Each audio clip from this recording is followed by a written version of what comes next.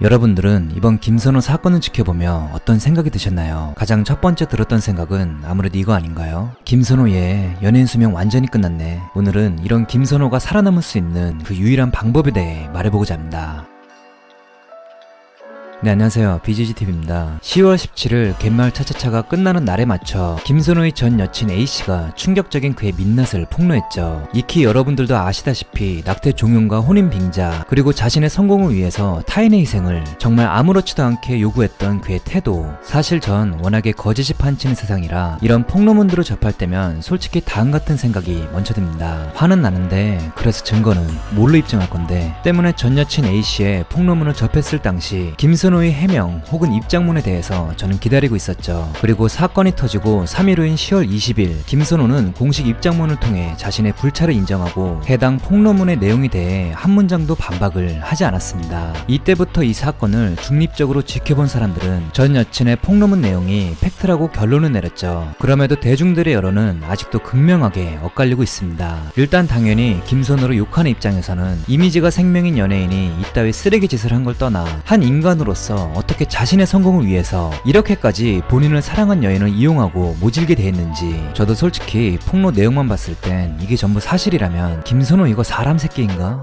이만큼 화가 날 정도였으니까요. 하지만 김선호를 옹호하는 그의 일부 팬들 입장에서는 꼭 이렇게 남녀 사이의 문제를 공개적으로 까발려서 김선호 인생을 완전히 망가뜨려야만 속이 시원했나? 그리고 비단 김선호 말고도 드라마의 흥행으로 축제 분위기를 즐기지 못하고 인터뷰까지 취소했던 갯마을 차차차의 신민함이 기타 다른 스탭들은 무슨 죄인가? 사과를 받고 싶었으면 개인적으로 요구할 문제였지. 이렇게 꼭 공개적으로 논란을 만들 문제는 아니었다. 뿐만 아니라 전 여친 A씨는 17일 만에 이혼한 돌싱녀인데 평범하지 않은 그녀의 가정사를 비추어 볼 때 김선호는 오히려 임신 공격을 당한 피해자일 수도 있다. 김선호의 no피임 요구를 받아들인 그녀도 문제 아닌가? 여러분 제가 웬만해서는 어떤 사건에 대해서 중립적이고 객관적인 시각을 늘 전달하려고 하지만 개인적으로 이런 김선호 옹호자 측의 반박은 오히려 그를 더 매장시키는 엇나간 팬심이라고 생각합니다. 김선호의 해명이 없었으니 폭로문이 fact라고 가정해보면 이건 단순히 남녀 간의 사랑 문제가 아니라 한 인간으로서 저질러선 안 될 도덕적인 문제였기 때문이죠. 그리고 전 여친 A씨를 지금 와서 생각해보니 매우 무서운 사람일 수도 혹은 착한 사람일 수도 있다는 생각이 듭니다. 그녀가 드라마 종료일에 맞춰 폭로문을 올린 시점에 대해서 김선호가 가장 잘 나갈 때 무너뜨린다는 계획적인 복수 혹은 갯마을 차차차를 배려해 드라마가 끝날 때까지 기다려준 큰 배려. 우리가 그녀가 아니고서야 속마음을 자세히 알 수는 없지만 일단 이 둘의 감정 싸움은 전 여친 A씨의 용서로 마무리된 것 같네요. 그리고 현재 남은 문제는 김선호에 대한 사회적 용서죠. 흔히들 들어보셨을 의견인데 우리 한국은 연예인들에 대해서 너무 높은 도덕적 기준과 잣대를 들이민다는 비판이 존재합니다. 연예인은 말 그대로 연예인이지 연기자라고 노래 잘하면 되는 거 아냐? 왜 할리우드 봐봐. 거긴 진짜 스타들이 미친 짓을 해도 대중들은 개인적인 사생활로 치부하며 별 상관하지 않으니까 말이야. 말이야. 우리나라도 그냥 할리우드처럼 연예인이 도덕 선생이 아닌 단지 웃기고 즐겁게 해주는 그런 사람이라고 생각하면 안 되나? 이런 의견을 듣고 보니 하긴 브란젤리나 커플이 떠오르네요. 와이프인 제니퍼 애니스톤을 버린 브래드 피트 그리고 유부남을 꼬셨던 안젤리나 졸리 한국에서는 대표적으로 이병헌 같은 인물이 존재하고요. 도덕적으로는 도저히 용서받을 수 없던 이들의 공통점은 지금도 아무렇지 않게 오히려 더 승승장구하며 그렇게 스타의 위치를 굳건히 지키고 있다는 사실이죠. 뭐 미국이야 한국이야 그렇다 치고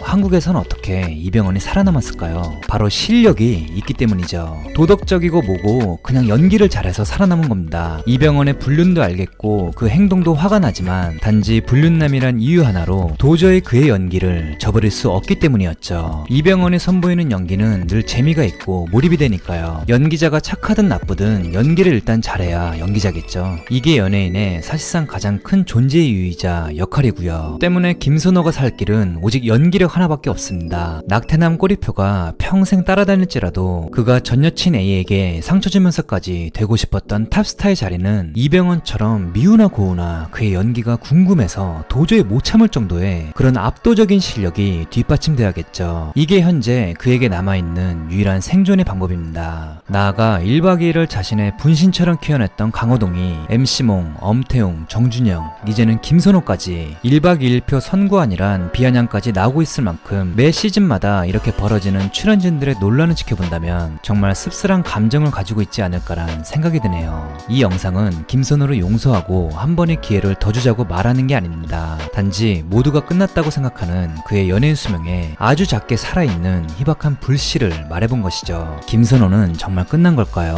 아니면 제2의 이병헌이 될 수 있을까요? 어려운 생활로 출세에 욕심이 강했다던 그의 다음 행보가 궁금해집니다.